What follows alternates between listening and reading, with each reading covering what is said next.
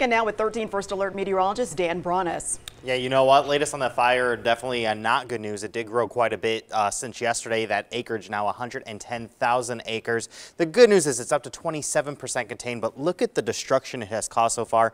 Uh, structures destroyed over a thousand and still about 2,500 in the line of the fire right now. Uh, the latest conditions, it's been hot there every day. This is bad when temperatures get this warm. There's less humidity in there. The good news is there's some moisture and the winds are not much of an issue, but it takes the overnights to get some relief on that fire but during the day, definitely not good. Take a look at the radar up there. No rain, so that's not going to help situations. Very dry. We have the rain just along the Sierras and here into southern Nevada. Now taking a look at our radar, not much storms going on except one over the mountains. Been up there for a couple hours now, producing quite a bit of rainfall. Also, a little cell just outside of Sandy Valley in California. That's about it, actually, across Clark County.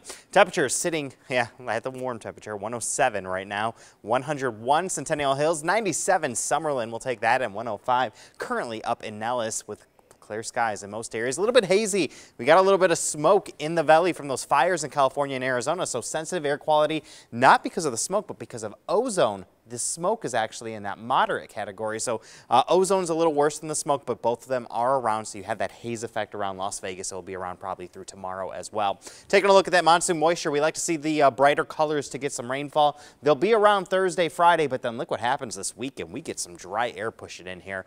So we're going to pretty much squash those uh, monsoon chances, it looks like. But then next week, pumps right back up. So the chance of rain uh, we'll be back next week after a brief break.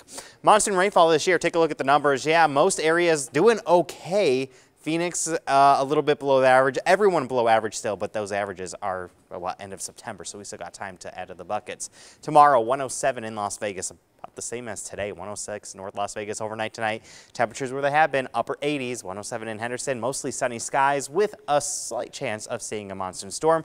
Allergy counts low. Every category's been low. It's that time of year.